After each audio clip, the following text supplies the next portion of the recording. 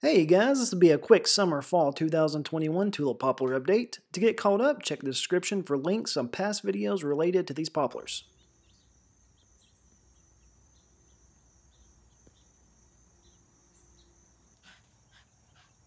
he almost got him one there. He chases these guys all around the yard almost every day.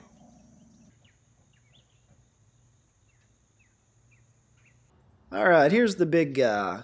He looked decent this year, but as I mentioned in a past video, we had a late frost, so he didn't fill out quite as well as he has in the past.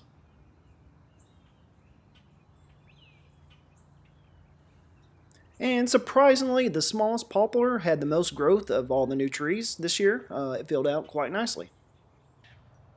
And then we're into September, and this shot here shows how thin this tree is. Usually you can't see through it like that. One of the concerning things about the smaller poplar is the cracking in the grafted area. I'm not sure if that's normal for a grafted tree, but I am keeping an eye on it, even though I doubt there's not much I can do about it. And here's the new lead I established back in a past video. As you can tell, the tree didn't care about the lead I established, it established its own. The leaves are looking a little rough. I didn't water any of the new trees as much as I should have this year. I should have watered probably once a week or every 10 days, but I maybe watered once a month. As a result, none of the new trees look perfect uh, as far as the leaves are concerned.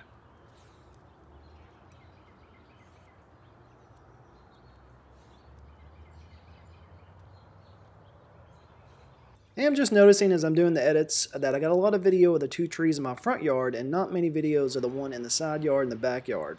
I'll try to remember that as I, and put more focus on the other two trees as I'm doing the spring 22 video. It's windy days like this that require me to put stakes in all the new trees. I had a dogwood in that exact spot a few years ago that blew over about five months after I planted it, resulting in its early demise. So that's why I stake every tree and leave the stakes in for about a year, year and a half. Alright, so here's a shocker.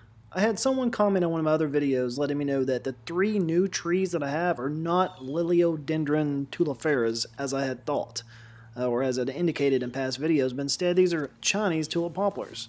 I was honestly surprised when he mentioned that, but after you do compare the pictures of the leaves on Google, he's absolutely right. Uh, so apparently I have a few Chinese poplars in my yard. As you can see from the, uh, the leaf on the big one, uh, totally different shape.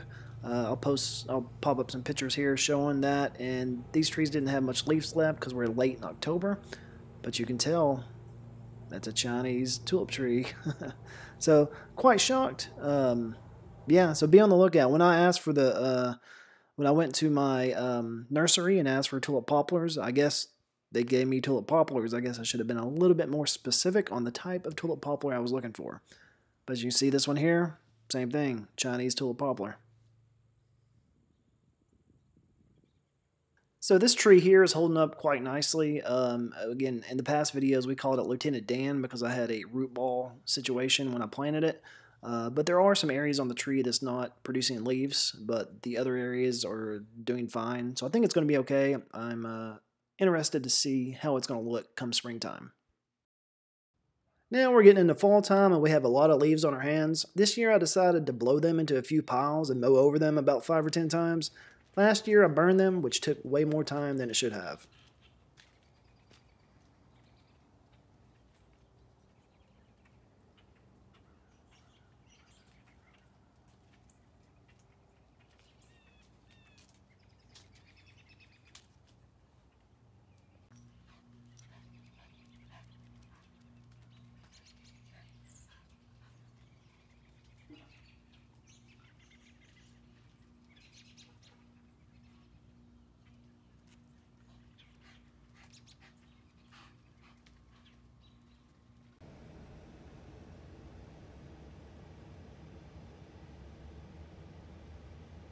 Alright, that is the end of the update video. If you enjoyed it, think about giving it a like, and also subscribe if you're interested in seeing future update videos on these tulip poplars.